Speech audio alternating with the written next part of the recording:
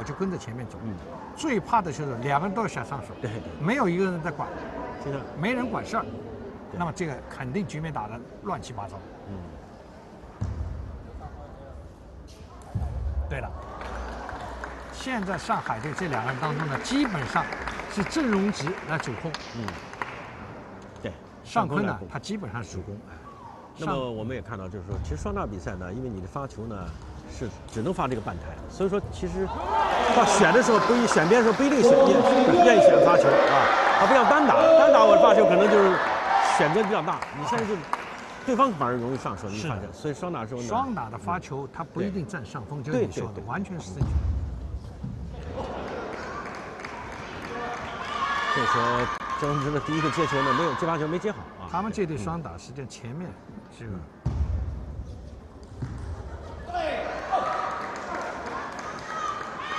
第一场打的时候，他们完全是生配，嗯没有配好。第二场呢，基本上就配输了。嗯现在郑荣植发球，郑荣植刚才呃接发球这个轮次两个球接的不理想，对也慢慢进入状态。我们来看发球，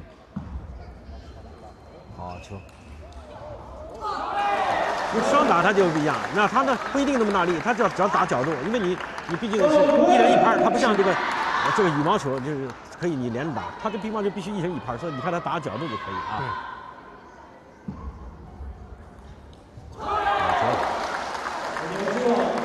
所以双打当中主控的人非常重要，什么？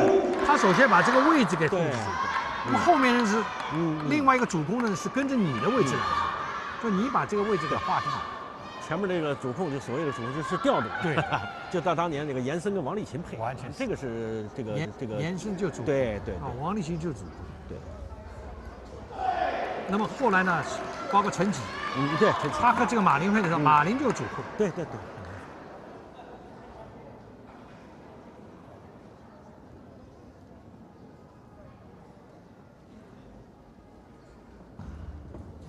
好球，这个球其实这个谁尚坤这个接发球搓的也比较长啊，捅到底线这个蛮好。现在韩国队等于把这批运动员就放到中国中场来锻炼，是吧？他朱世赫坐在那儿哎，那啊对他们来说是价值很大。对，尤其是女子，像那个日本的这个叫什么平野美宇美宇美宇啊，这个是这个应该讲还是有威胁。对对。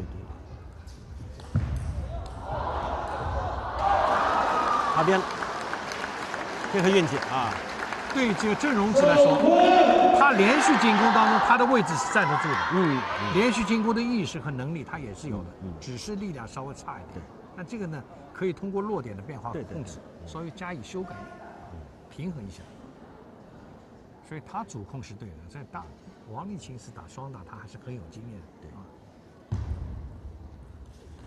对，很清楚，哎，四两拨千斤啊。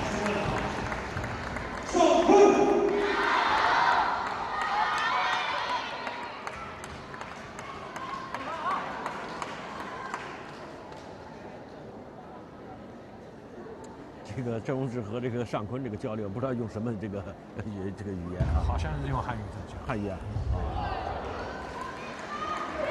简单的汉语可能郑荣志还是因为现在孔明轩的什么呢？他他能力还是有的。嗯，你如果对他这控制不严的话，他这个反冲还是有一点危险。好球，这两板球连续两板，嗯，连续两板，等你们上手他就反冲。就他们这个意识很强，他发球既然发不短的，他就发一个长的让你拉起来，半不拉几的球，拉起来我就冲你。所以这个球啊，对他们上手来说，不是上了就行，你上还要有质量，还要有落点的分配。当然说说都很容易，打起来不是那么容易，但这个路子一定是这样的。嘿嘿，这两个人，蔡伟和孔明轩两个人的短球的处理都比较硬，嗯，都是硬茬，你知道吗？两个两个两个连着两个，这个发球轮次连着吃两个，，这就发对了，嗯。你就干干净净就发个下旋，嗯嗯，看你怎么对对对，什么叫发下旋？发了下旋就是你一下子解决不了问题，嗯你必须还要重新来一个回合，啊，你没有办法了嘛。漂亮，对了，对了，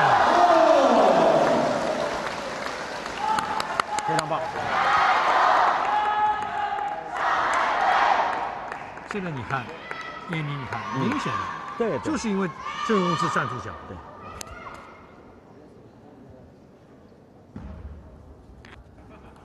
好好球，没关系啊，再来。郑文植确实是还是非常的猛，你看他这个站位就是，嗯，双打当中有这种站位嗯跑位嗯嗯就很保，对对，两边这样插，像插门一样。嗯嗯打近台的人他插门这样跑，嗯还有一种跑法呢是八字跑。嗯那么八字跑就两个人轮番进攻，要绕那么他站前的人，嗯他就这样跑，后面人就跟着他绕，好吧？呃，现在是九比八，这把球路子是对的，曾荣植的力量稍微轻了一点，嗯嗯，那么他也就这个力量，你让他发实力也不行。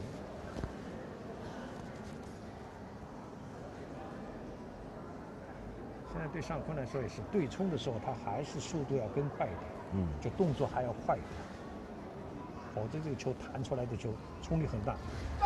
漂亮，叫真的叫没成功了没。上没上台很好，哎呀！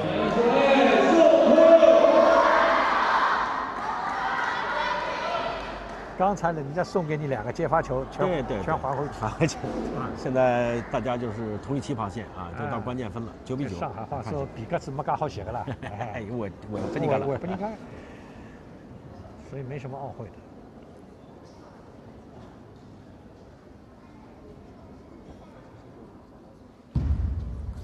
漂亮，这个。他手上是可以的，嗯。我就喜欢他这种对对对。朝下走，因为而且呢，尤其这个像双打这个发球，它区域的限制，所以对他的发挥呢，这个发挥呢又又比较又相对来说容易。你看他拧的时候嗯重心是上来的，对，不是坐在下面。就说这个的拧呢，就说我们一般来看，就说如果是像你们专业比下啊，你看这个手指手手腕的发力就不一样。哦，漂亮，好球啊黄！立轩，这把球是等等等嗯。等着的，但是那个确实，就像您刚才讲的，这个韩国这个选手啊，他这个是啊，手腕很松，一开始这接球现在是非常松啊，能带起来。曾荣之就是，嗯，他这个反手真是。十比十。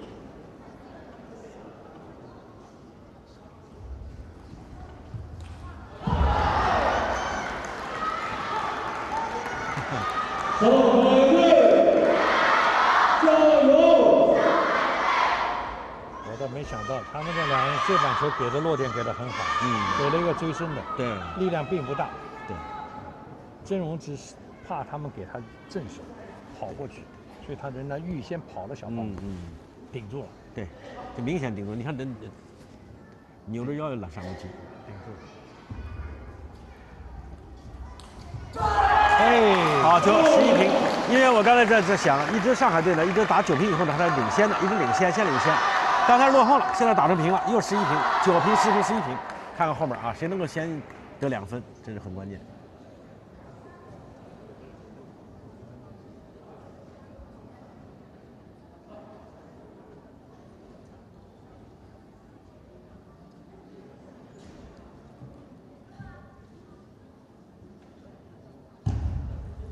啊，这把球发的好，没有，发发的出去了，出界了出去了，出去了，出去了，出去了，嗯，发出去了，两个玩单打了，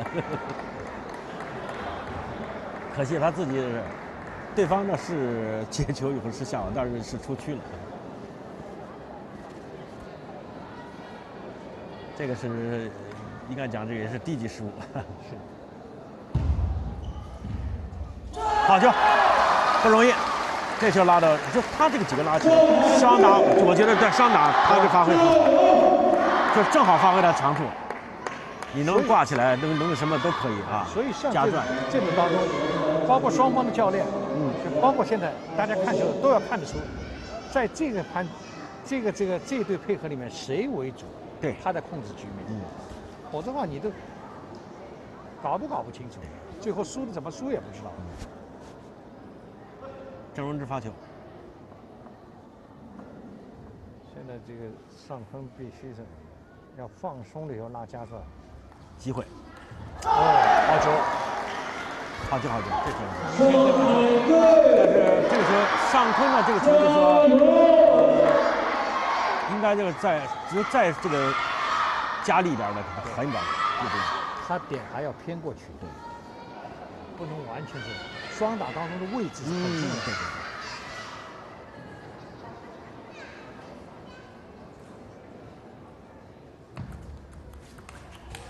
好球，漂亮！这个你看，他这个拍就这一拍，他的引拍就不是不是很大，但是可以拍。这把球就是非常好的一个连接，是吧？嗯，歘出手了，唰就可以。嗯，这种叫什么？快速连接。对。这个这场双打，你别说啊，真的也很，第一局就很精彩，十三平了啊。技术含量真的蛮嗯，九平啊，现在是十三平。因为每一次关键是什么？上海队在打九平之前，他一直九比六，他是领先的。我就担心他到十平以后，十十比十一落后以后，气现在还在，那个时候能打的不错。好球，不行，这个倒是漂亮漂亮，这个叫暂停了。江苏中超请求暂停。这个很关键，十四比十三，看得见领先。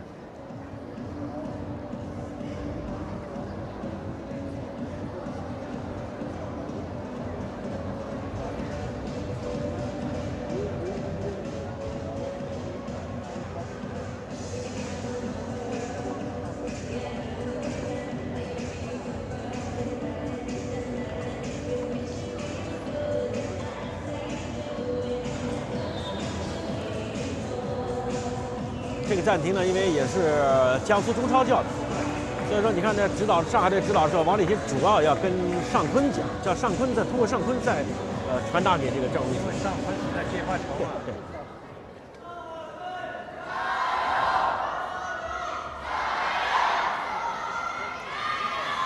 这才叫分分入扣。对对对，每分都扣的，每一个环节都扣的。对，双打实际上技术含量蛮高的。好好看，好看，嗯，很透。不单单只看到掌分，它每个环节是你你扣得住还是扣不住。漂亮啊！漂亮。他这把球就是刚刚阵容只就有了一个阴功啊，他下面手里加了一个转，手看不出来啊。这个球很转，他不能挑，你要么就拉上去，要么就再摆回来。啊买回来他肯定是吃亏。不错不错。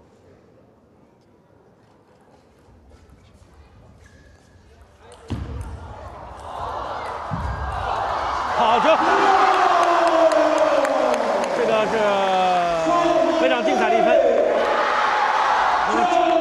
这样的话，我们看到上海队现在是领先，率先这个得到得到几点，我们看看能不能把握住啊。这板球看上去是在对冲，嗯，实际上两个两队两组啊都在含一口气。对，上海队的气比他们要长一点。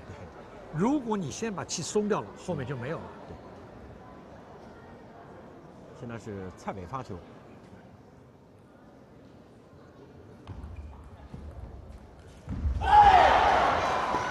对的，可惜，但是就是滚网。这把球是对的啊！如果他稍微高点不滚网的话，他上台。这把球他就是要这样弄，没弄到是滚打上这个地方就是这个死角，对方就很难接了。十五平，差了一点点。他这把球是就是一个这样。比赛啊，真的很精彩。你像从九平打到十五平，这个这个比分就打得很高。最怕的就是这把球他上来这样躲躲一把，嗯，就是应该这样打。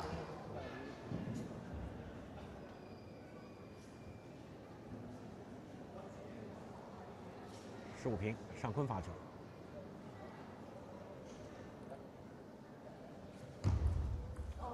擦网。那么，看看他们是不是有没有变化？因为你看这个有个底下个手势，他做的时候两个人就是要有一个这个交流啊。发什么球，后面你怎么衔接，怎么打？来看一下，对，应该是发一个转，嗯，他出来一个小指，嗯。哎，这个球上空有点手软，啊，可惜这个，这个不应该啊。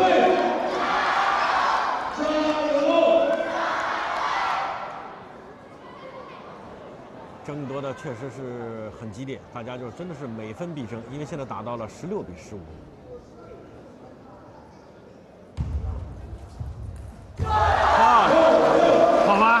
真好，他真敢真敢打，你看对，他这个拧拉就是有效拧，嗯，哪怕不发力的话，他这个旋转比较贼，对对对。别人还很难接。尤其是双打，他就更更好。就是的，你要是单打的话，可能又不一样。对，因为我我发完球，我就后面接接着我打。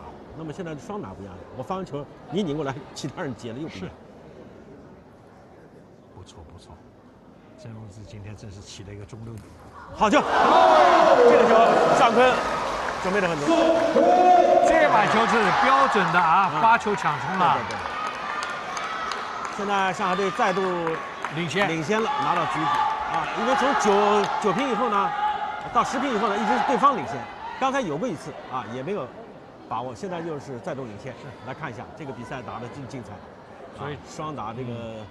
郑荣芝打到目前为止，我我对他的评价比原来要高一点。嗯，就打双打时候看得出来，他的意识非常清楚。嗯，该上手他一定上手，只是好球啊，这球好球。回放以后在落台内啊，这个是真的是，今天这场球啊，我觉得不论无论谁输谁赢，但是是一场高水平比赛啊，也是我们观众大饱眼福。对，真的是。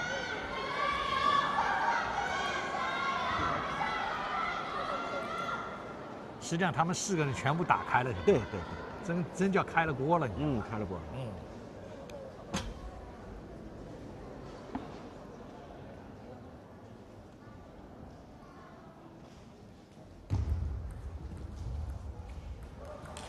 哦，漂亮漂亮，孔令辉这个球，啊，孔令先这个球，对吧？这个球，尚坤，你看这速度稍慢，让对方抓住，这个球漂亮。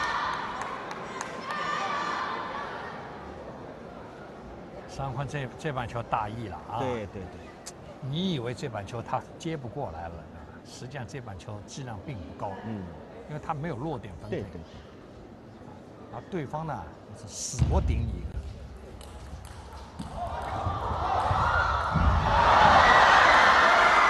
漂亮！我们觉得江苏中超电缆也是孔令轩和这个蔡伟啊，经过这个艰苦的这个。比赛十八十九比十七，终于拿下了这个这盘这个双打的第一局。打到这个份上，你已经说不出来了，到底谁打得好？对对，最后就是一个临场当中，这局球无论就是谁赢谁输，我觉得对双方来说锻炼都很大，就是对运动员肯定想这一局球说顶三局了，这打的这比分也高。锻炼价值不一样啊，因为你是平分以后再一分一分交错。真的要这板球说谁输，对，就是输在那刚才那个球。对对对，你打在人家的手上。对，被孔令轩打这个。那你看王励勤的表情也知道，就是尽管这局我们输了，但是他呢还是很高兴，就看到了，呃，我们这个这个谁呃郑荣芝和这个和张坤的配合的不错，配合啊不错，就是说有还能提高上升空间，很好。今天的比赛应该讲非常精彩、经典，这可以说经典之战。我觉得这今年的啊，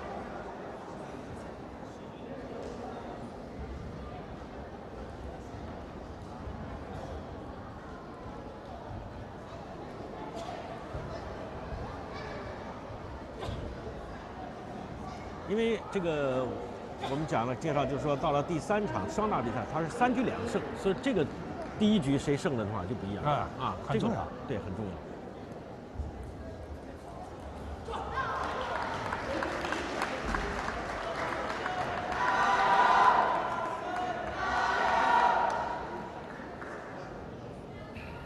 从现在来看呢，现在这一轮应该对上海队稍微有利一点点。这尚坤的左手在打他的右手，嗯嗯，蔡伟，嗯嗯嗯。刚才呢是郑荣植的球，他在接郑荣植的球，那比较正。嗯，现在呢这个左手对付他呢，他稍微有点斜，对吧？好球，到现在就看得出来。那郑荣植，你看那个球，他敢于处理，拍那球，我还是。所以刚才那局如果拿下来的话，我们就有对对很有可能进。所以现在对这个上海队来说呢，一定不要气馁，嗯，咬住。这个球倒是，呃，对方呢其实就也没没没用力啊，没用力没用力，所以说反而借不上力。因为他现在做的是做了是不是做一个防御的准备？对对对，他没有做好进攻的准备，整个人顶着了以后想借他的力，啊突然之间他没有借上力以后他就发不出力了。蔡伟这个球呢是没有拉上啊，那么这样的话呢是四比一。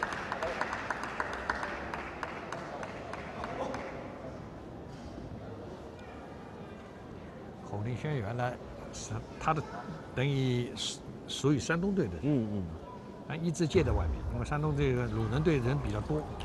好的，你看，这反手还还还这可以啊次的反手是有点吃力。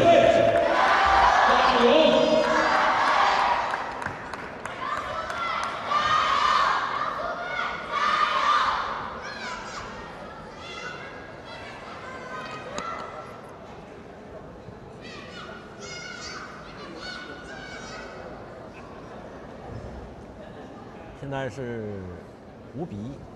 完全想不到啊！这上海青浦中心领先嗯青浦郑荣之还有那么多的粉丝啊！哦，他这个粉丝不是说青浦，我刚在外头看见了，有许多全国各地来的，就追着他走。是吗？嗯，我刚刚碰见两个那个这个小女孩在说，一直在说，听他们介绍说半天，啊有的追到韩国去，他他什么时候回去，什么卡还在查。啊，那还不容易，不容嗯易。，他的粉丝很多。好好球，这个球不错啊！刚才就是很被动啊，郑智，郑智很聪明打球，他这个打球确实就要他来调度，他来控制啊。应该讲上海中上海中心把他招过来还是蛮对的啊，这个是个蛮好的战略措施。那你看，很那很巧啊，并没怎么发力，但我吊起来、挂起来啊，拉了，不错。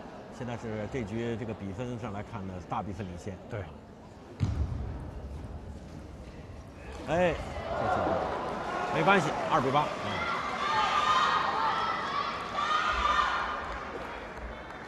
像这种球，对方没有跑开的时候，你给一两个这种球，问题不是很大。嗯，啊，他已经跑开了以后，只要你一一偏软，没有速度，嗯他马上上手。嗯双打当中，这一旦上手，你就很难，对。看见吧？那么现在其实作为上海中心来讲呢，你其实这个球啊，关键就是说对孔令轩要注意他的一个杀手啊。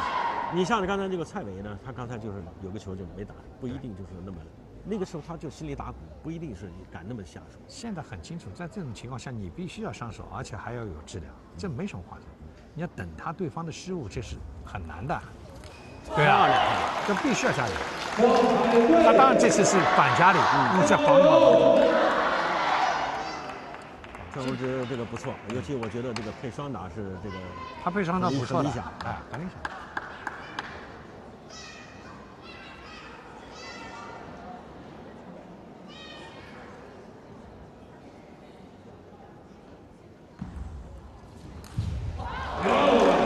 这把球又来一个阴科，阴招阴招炸阴转，加了一个转。这种加转，它主要的就就是手指在最后的时候动了一下。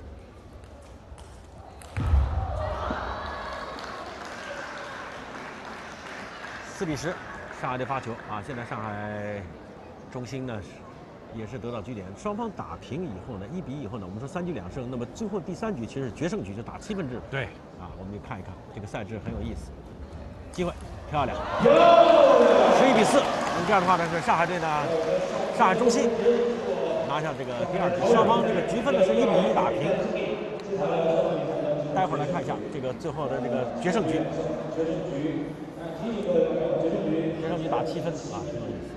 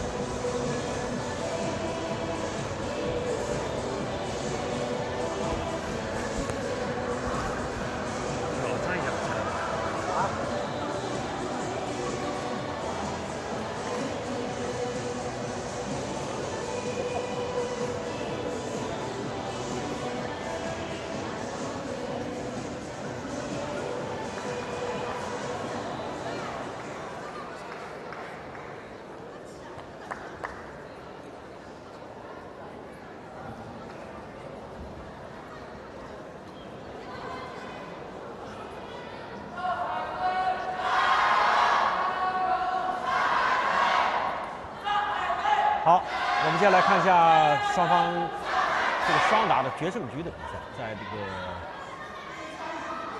前面两局呢，双方是各胜一局啊。第一局是经过这个十比十平分以后呢，最后打到十比十九比十七才分出胜负，是江苏中超电缆的孔令轩和蔡伟拿下第一局，第二局是上海中心的尚坤和郑荣植拿下第二局，十一比四。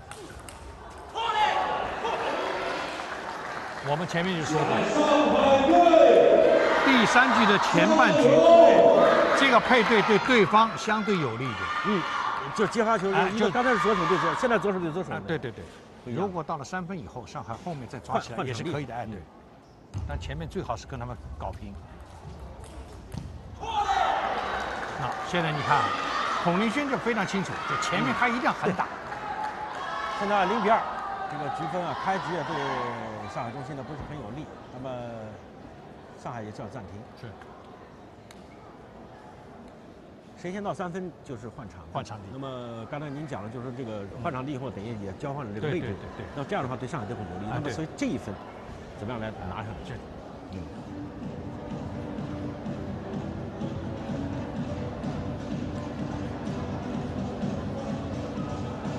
有时候我们看双打比赛为什么会差这么多？确实就是这个对上正好是你的软肋被他抓住了，这没办法。那么怎么样度过这个难关啊？他这个就像跟排球当中的卡轮一样，对对对，卡轮一样。就轮子可以卡住。你的火力发不出，对对方呢充分发挥。对对对对，人家是强轮次，对而你是卡轮。呃，那么所以说看怎么样度过这个这这个这个难关啊！现在就尽管对方已经领先啊，我们看一下。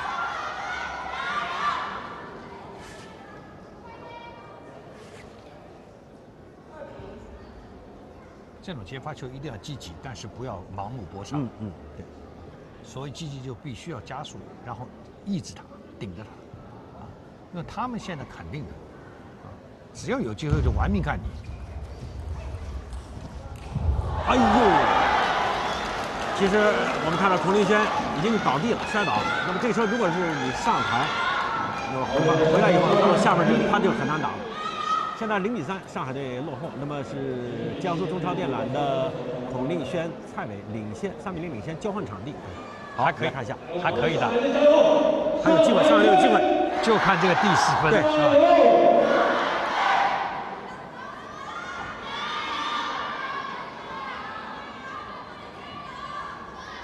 那他有个交流，他给了个手指头，那么孔令轩啊，他现在肯定要求蔡伟这里有一轮是搏杀的，知道吧？啊，看见吗？已经在发力了，对吧？嗯对，有一轮一定是搏杀，因为他现在有三分优势，嗯，他知道下面这一轮的卡轮对他们来说不利，所以他一定要搏杀一轮，把这个优势拉大。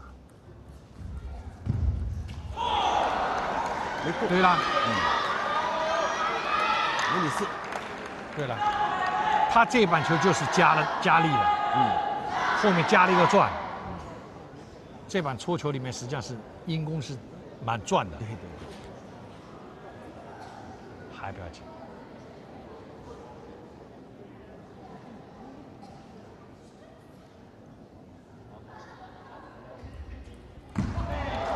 好的，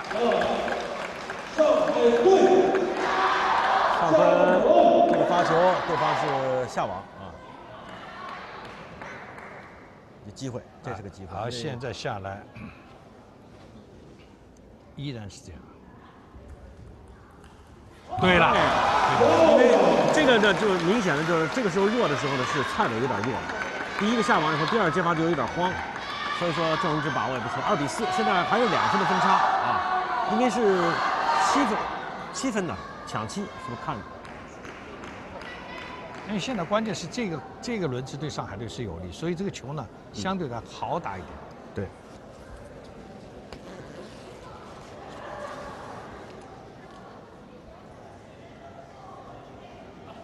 蔡伟发球，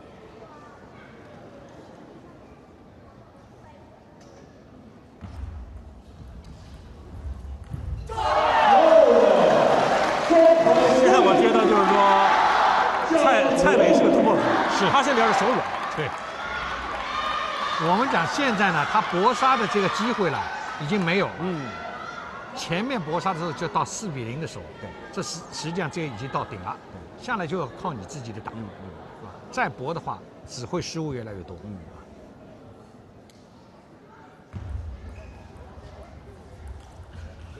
好球！好球！这两板球，这一分球，江江苏队处理的处理好，他明显把你两边调开。嗯嗯嗯。他们知道，只要你的质量上来一点的话，他们就讨厌。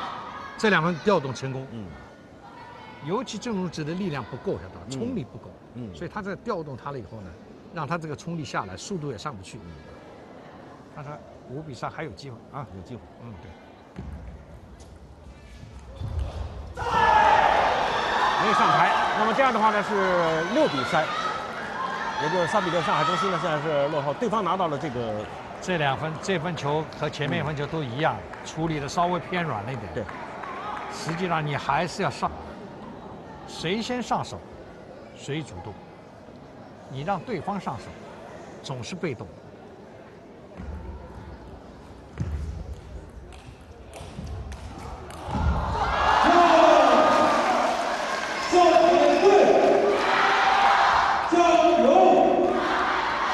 关键是蔡伟，你看他这个现在所有的最后十分丢分就丢他手，对，所以你要抓住这个。但是现在确确实实比分已经到了这个悬崖了那个边上了啊，四比六，你这个。